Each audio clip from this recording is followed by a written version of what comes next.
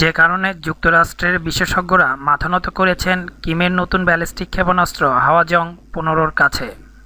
উত্তর কোরিয়ার দাবি মেনে নিলেন আন্তর্জাতিক বিশেষজ্ঞরা। গত বুধবার আন্তঃমহাদেশীয় ব্যালিস্টিক ক্ষেপণাস্ত্র হাওয়াজং পনেরো পরীক্ষামূলক উৎক্ষেপণ করে পিয়াংয়াংয়ের পক্ষ থেকে দাবি করা হয়েছিল, গোটা মার্কিন ভূখণ্ড এখন তাদের ক্ষেপণাস্ত্রের আওতায়। দাবি প্রমাণ করতে বৃহস্পতিবার বেশ কিছু ছবিও প্রকাশ করে তারা। সেই ছবি দেখেই আন্তর্জাতিক বিশেষজ্ঞরা বলেছেন, কিমের দাবি মিথ্যা নয়।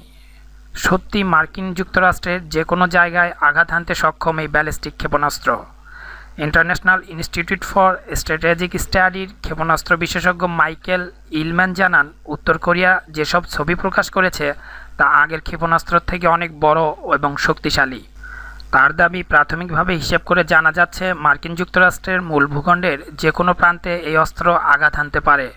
উল্লেখ্য, স্থানীয় সময় বুধবার ভোররাতে হাওয়াজং পনেরো নামের দূরপাল্লার ব্যালিস্টিক ক্ষেপণাস্ত্র উৎক্ষেপণ করে উত্তর কোরিয়া।